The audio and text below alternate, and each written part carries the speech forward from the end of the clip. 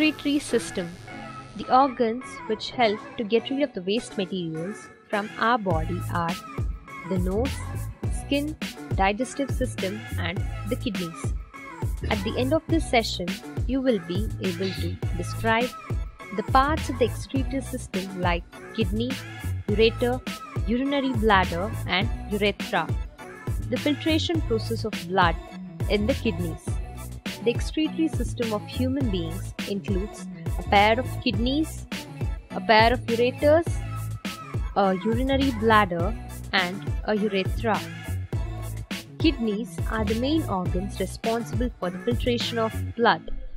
The renal artery brings the blood to the kidney for filtration, and the filtered blood leaves the kidney through the renal vein.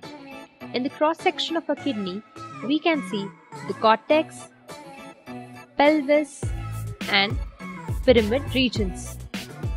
There are about 1 million nephrons present in each kidney where the actual filtration of blood takes place. The nephrons are considered as the structural and functional units of a kidney. Nephrons are highly coiled structure which consists of Bowman's capsule, proximal convoluted tubule, Henle's loop, distal convoluted tubule, and a collecting duct.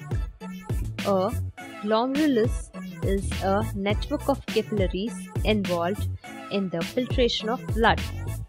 Blood enters through the afferent arteriole and the high pressure of blood forces small molecules such as water, glucose, amino acids, sodium chloride and urea to pass through the filter from the blood to the Bowman's capsule.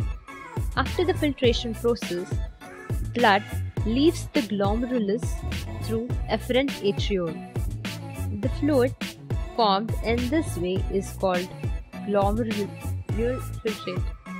From the Bowman's capsule, the glomerular filtrate passes through the proximal convoluted tubule and then into the nephron loop, also called as Henle's loop. Water and salts are absorbed here, and the remaining urine passes through the distal convoluted tubule where some more water is reabsorbed into the blood veins. The concentrated urine enters into the collecting duct and passes through the ureters into urinary bladder. When the bladder is filled and stretched, the walls of a bladder contract. This encourages the bladder to expel urine through the urethra.